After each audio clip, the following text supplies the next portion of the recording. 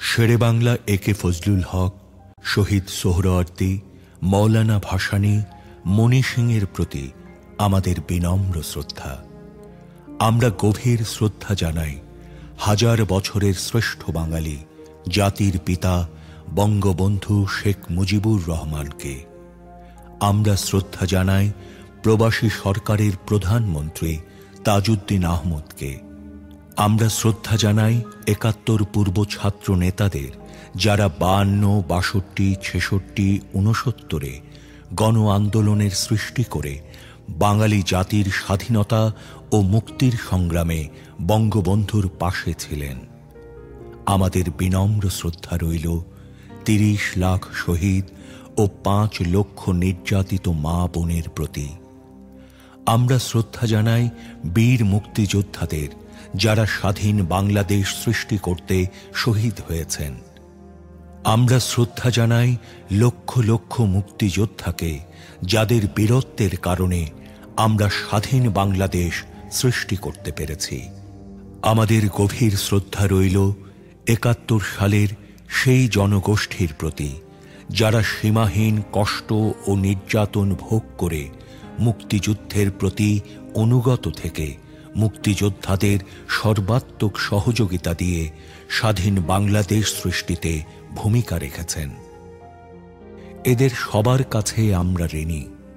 হাজার বছরের শ্রেষ্ঠ বাঙালি, জাতির জনক, বঙ্গবন্ধু শেখ মুজিবুর রহমানের কাঙ্ক্ষিত বাঙালি জাতীয়তাবাদী চেতনার বিকাশ, শোষিতের গণতন্ত্র, শোষণমুক্ত, বৈষম্যহীন সমাজ, মানবিক মূল্যবোধ, সামাজিক ন্যায় বিচার সামাজিক, অর্থনৈতিক, রাজনৈতিক সাম্য প্রতিষ্ঠা করে জনগণকে ক্ষমতার প্রকৃত মালিক করে আমরা এদের ঋণ শোধ করতে পারি। আসুন, আমরা আমাদের পূর্বসূরীদের ত্যাগকে স্মরণ করে তাদের নির্দেশিত পথে দেশকে এগিয়ে নিই। জয় বাংলা। আমার নাম রফিক আহমদ, পিতা মৃত মা জয়নাব খাতুন মৃত আমার গ্রামের নাম নালান্দা উপজেলা ফটিয়ার। আমি একত্রিশ সালে আমরা পদুয়া ইঞ্জিনিয়ারিং কলেজে যাইবার প্রোগ্রাম ছিল। ইমাম গাজ্জালি কলেজে যাই শুনছিলাম, আমার স্যার স্যার আশুতোষ কলেজের দিলীপ চৌধুরী মুজাফর হইতেছে তা আমরা ব্যাক করে ফটিয়া পূর্ব পাহাড়ে বাগাইয়া সাকমার খামার বাড়িতে ওখানে গেরিলে ট্রেনিংয়ে আমার সহকর্মী নুরসালাম সহ লাঠি আলম এবং ইসাক ওখান থেকে ট্রেনিংয়ে আমরা এরপরে চট্টগ্রামে আশেপাশে কয়েকটা অপারেশন আমার গ্রুপে করছি আমিও ছিলাম। দুইবার ধরা পড়ছি একবার আলবদরের কাছে আর একবার পাঞ্জাবিদের কাছে। আপনার গ্রুপ কমান্ডার কে ছিল? ওই সময় ছিল তোফাদ্দেল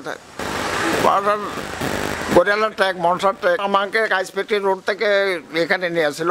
একটা দোষ মাহমুদের বিল্ডিং অবাঙ্গালি ছিল। ওখানে আনার পর বাঞ্জা টাঞ্জা তারা গুলি করবার একটা প্রোগ্রাম বানাইছে। তো মাঝখানে একটা ফাগলের দল আসি, হয়, এনে আনছো, কেন কেন আনছো? হয়, এর কার্ড নাই কার্ড আমি। তারপর ছাড়ে দিয়েছে। একবার রাত্রে পাঞ্জাবিরা ধরে কদ্দুর নেওয়ার পরে এক পাঞ্জাবি বাক বাক। দেবাগিরি ক্যাম্পে উচ্চ উচ্চতর ট্রেনিংয়ের জন্য গেলাম। আমি মোহাম্মদ মোজাম্মেল হক এরশাদ বীর মুক্তিযোদ্ধা রফিক আহমদের একমাত্র ছেলে। স্বাধীনতা যুদ্ধের স্মৃতিপট নিয়ে কথা বলতে গিয়ে এবং সর্বপ্রথম বলখালিতে প্রথম যিনি শহীদ হয়েছিলেন, আমার আপন মামা একলাসুর রহমান। একলাসুর রহমানের লাল বার্তায় থাকলেও শহীদ গেজেট হয়নি বিদায়। আমি দু হাজার সাত সালে এই কার্যক্রম শুরু করি এবং জাতীয় স্বীকৃতির জন্য। এই স্বীকৃতির জন্য জেলা, উপজেলায় বিভিন্ন ধারে ধারে ঘুরতে ঘুরতে এবং সরকারি, বেসরকারি এবং মন্ত্রণালয়ে সর্বশেষ দুই হাজার একুশ সালে সেই গেজেট সম্পন্ন করতে সমর্থ হই। এ পর্যায়ে আমাকে তৎকালীন সাংসদ মাইনুদ্দিন খান বাদল সাহেব এবং মুসলিম উদ্দিন সাহেব যথেষ্ট সহযোগিতা করেছেন। তাদের প্রতি আমি কৃতজ্ঞতা জানাই।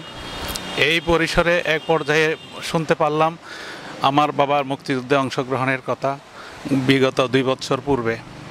উনি অবশ্যই রিজার্ভ প্রকৃতির লোক ছিলেন ডিসক্লোজ করতেন না, আলাপ আলোচনা করতেন না। এক পর্যায়ে যখন জানতে পারে, তো ওনার থেকে দুই একটা স্মৃতি আমি জানতে চাই। চাইলে তিনি বলেন আমাদের সাবেক চেয়ারম্যান মরহুম মহসিন খান সাহেব ওনার ক্লাসমেট ছিলেন এবং ওনার সহযোদ্ধাদের মধ্যে ছিলেন আবুল হোসেন কমান্ডার, যিনি কয়েক বছর পূর্বে মারা গেছেন এবং আহমদ হোসেন সাহেব এখনও জীবিত আছেন। কিছুদিন পূর্বে ওনাকে নিয়ে দুইজনের সাথে সাক্ষাৎ করি এবং ওনারা বলে যে, আমরা তো অন্ততপক্ষে আমরা এনলিস্টেড হয়েছি, তোমার বাবা তো হলো না, এটা তো খুবই দুঃখজনক, তুমি চালিয়ে যাও।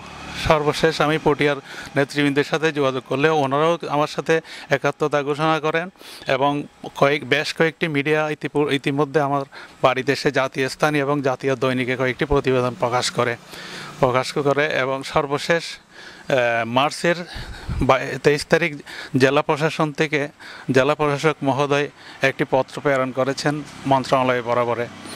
তো আশা করি সেই স্বীকৃতিটা, আমাদের কাঙ্ক্ষিত স্বীকৃতিটা অতি শীঘ্রই এবং আমাকে যুদ্ধ, আমাকে যুদ্ধকালীন ঘটনার মধ্যে তিনি বলেছেন পদুয়া হয়ে ইঞ্জিনিয়ারিং কলেজে যাচ্ছিলেন প্রফেসর দিলীপ সাহেব সহ ওনাদের সঙ্গী সাথীরা। সেখানে ওনার গাড়িটা, আমার আব্বার গাড়িটা একটু ব্যবধান ছিল। সম্মুখে ছিলেন প্রফেসর দিলীপ এবং শেখ মুজাফর আব্দুর রব এবং সাইফুদ্দিন খালেদ সহ বেশ কয়েক অনেকে। ওনাদের মধ্যে সহযোদ্ধাদের অনেকে জীবন হারিয়েছেন এবং ভাগ্যবশত জীবন মৃত্যুর সন্ধিকণে গিয়েও আব্বা ভাগ্যবশত ফিরে আসেন। এটা তা এরপরে এই কথাটা বলার পরে উনি একটু আবেগ আপ্লুত হয়ে যান, উনি আর বেশি কিছু বলতে পারেন না এখন উনি খুবই অসুস্থ ওনার অনেক স্মৃতিপটে অনেক কিছু জানা জানা থাকলেও সেগুলো প্রকাশ করতে পারেন না। ওনার এই মস্তিষ্কের মধ্যে ব্লক রয়েছে। এবং আমরা স্বল্প পরিসরে চিকিৎসা চালিয়ে যাচ্ছি। এই হচ্ছে সর্বশেষ অবস্থা। তিরিশ লক্ষ শহীদ ও পাঁচ লক্ষ নির্যাতিত মা বোনের সম্ভ্রমের বিনিময়ে আমরা স্বাধীন। লক্ষ লক্ষ মুক্তিযোদ্ধা বীরত্বের সাথে যুদ্ধ করেছে বলে আমরা স্বাধীন। হাজার হাজার যোদ্ধা বীরত্বের সাথে যুদ্ধ করে শহীদ হয়েছে বলে আমরা স্বাধীন। কোটি কোটি লোক আমাদের সমর্থন করতে গিয়ে অবর্ণনীয় দুঃখ কষ্ট সয়েছে বলেই আমরা স্বাধীন।